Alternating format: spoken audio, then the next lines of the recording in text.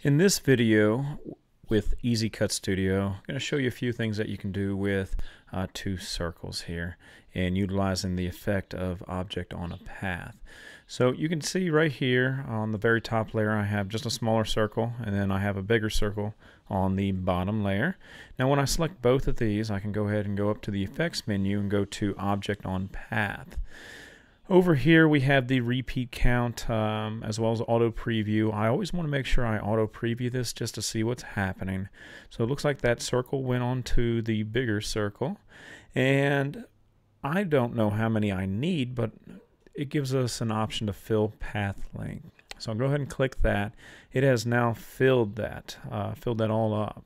Now, if you take a look at the spacing, you know, you can add spacing, take away spacing, but uh, you can also go negative on your spacing. And this is what we're going to do.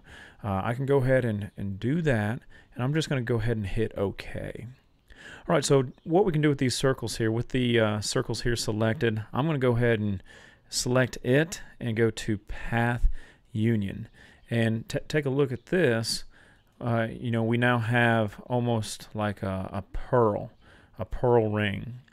Now, something else that we can do with this, uh, I, I, went ahead and uh, turned on the bottom circle here. And let me go ahead and change the color just so that we can see it on, on this screen.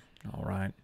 So we have the bottom circle here. We have the, uh, the top pearls. And now I can go ahead and select both of these and I can go to path union and now I have a, a, scalloped circle. So you can see how we can create our own unique shapes uh, just using two simple circles uh, inside Easy Cut Studio along with object on a path. So object on a path is very nice to use uh, when you're when you're doing stuff like this.